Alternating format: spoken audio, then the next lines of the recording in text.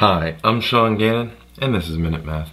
And today we're learning about how to convert a percent to a fraction. Minute Math, Minute Math. When you need help, you use Minute Math. We're given this problem here, convert each percent to a fraction. We got two of them. The first one is 36%.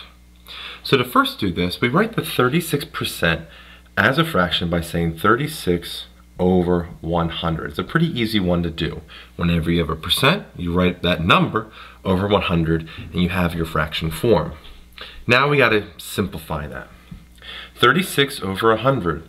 Well, both numbers are divisible by 4. 36 divided by 4 is a 9, and 100 divided by 4 is a 25.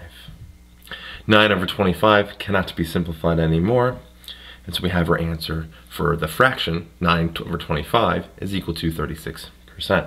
All right, now let's go deal with our next one here, 125%. Same process as before.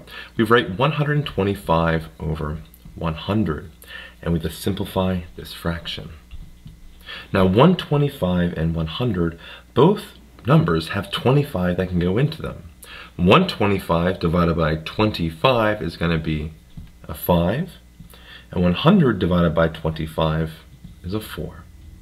And so from here, 125% is equivalent to the fraction 5 fourths. I hope you learned something here on how to convert a percent to a fraction. If you did, make sure you like this video and subscribe to our YouTube channel. This helps us make more of these free math lessons for you and for everyone else. So as always, thanks for watching.